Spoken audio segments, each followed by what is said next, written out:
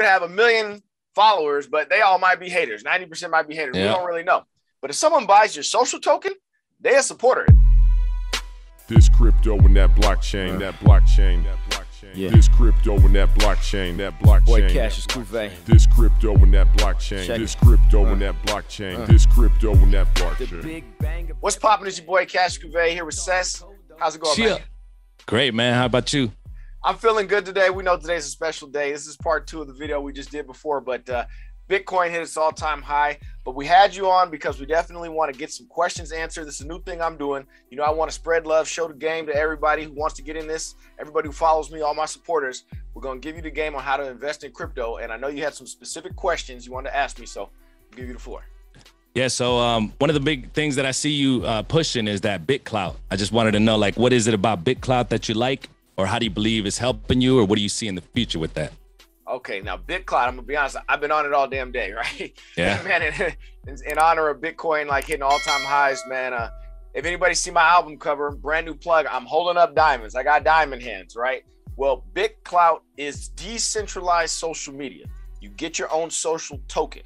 So, and then I and then I had I diamond hand them. I hold them forever. I don't ever. I'm never selling my own coin. I'm never selling nobody else's coin. But basically, Alright. each individual creator, you get what's called a creator coin. So you go on there. There's a feed like Twitter, like it operates a lot like Twitter, but you can give people diamonds, which are basically like tips, which is something new that Twitter is implementing also. But they already have it on BitClout. The key is it's decentralized on the blockchain. So when it's on the blockchain, it's it's on there forever. DESO, D-E-S-O. That is the token, the coin that it, that it's on that blockchain, the DESO coin. Yeah. And then we have a social token that is on DESO. So because it's decentralized, there's not like one Mark Zuckerberg or Twitter where you can get kicked off because of whatever reason they're on a whim. Like this is it's decentralized. So that's Yeah. kind of the whole point. It's like freedom. But you basically you make posts, you can embed videos, you can embed links to YouTube videos, show off your art. You can make NFTs out of your post, out of your art. People are buying Mm. and selling NFTs on there. Um, I, I'm telling you, it's just like Twitter, but it's all the blockchain and cool tech, uh, uh, uh, crypto stuff as well.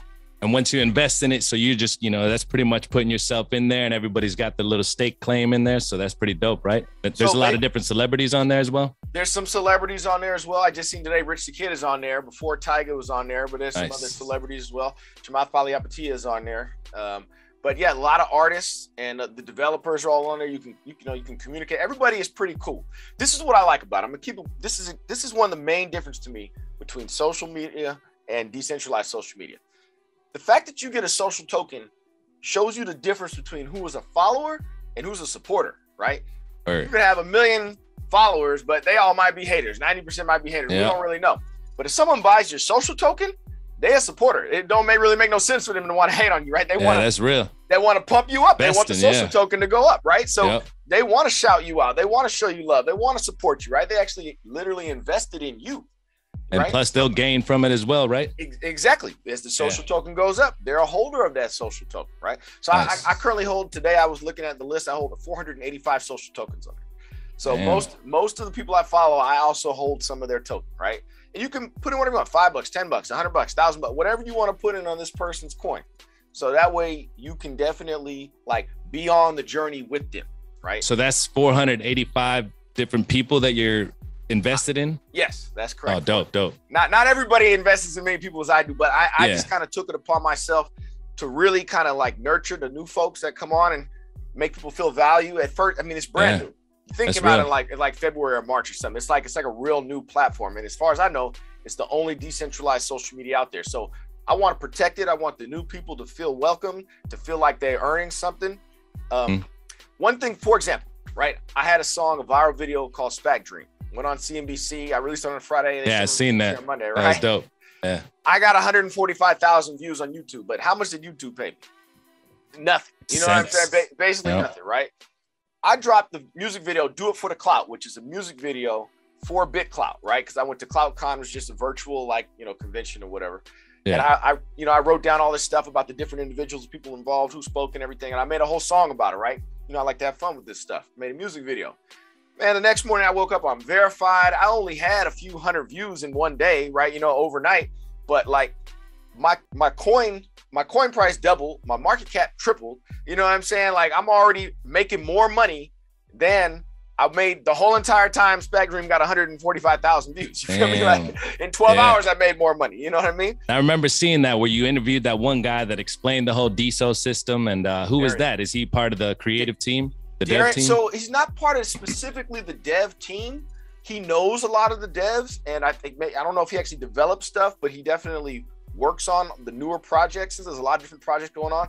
And here's the Oh. thing: decentralized platforms are open sourced, so anybody can come build on them. Right? Any developer Yeah. can come build. You don't need to go work for Facebook to build on Facebook. Right? You can. o- Anybody who wants to be a part of the network can be a part of the network.